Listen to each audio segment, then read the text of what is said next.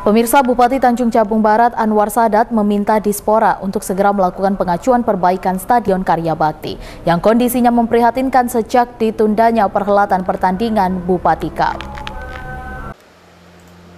Bupati Tanjung Barat Anwar Sadat angkat bicara terkait penundaan ajang Bupati Cup yang diikuti tim kesebelasan dari berbagai kecamatan di Tanjung Barat. Penundaan Bupati Cup ini terpaksa dilakukan Bahkan ini juga telah disepakati oleh panitia penyelenggara Bupati Cup.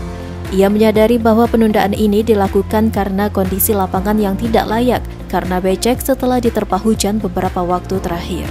Meski demikian bukan berarti ia tutup mata, akan tetapi pihak Deswarpora sebagai leading sektor diminta untuk segera mengajukan anggaran untuk perbaikan lapangan Persitach tersebut.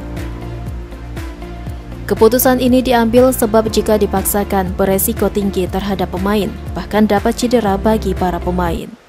Nanti lapangan persitat yang langka kita. Ya sudah kita minta ah, pada pihak pengajuan juga terus. Pengajuan PD ya, hmm. PD terkait untuk kembali menganggarkan uh, dibahas di badan anggaran ya.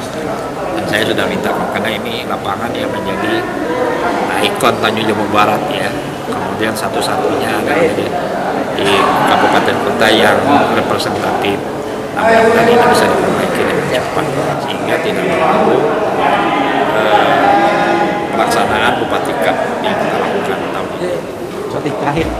Stadion Karya Bakti di Kuala Tunggal tersebut diketahui dibangun pada tahun 2011 lalu.